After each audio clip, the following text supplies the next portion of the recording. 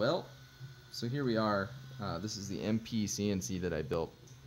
I had a printer emergency because the MP CNC is not finished, but the Lulzbot um, had its idler piece break, and so I had to figure out how to fix the 3D printer with another 3D printer, and so I just kind of MacGyvered it together this morning, but uh, it's printing real nice. Um, got an E3D extruder on there, and uh, hopefully we'll have the Lulzbot fixed here soon. So, desperate times call for desperate measures.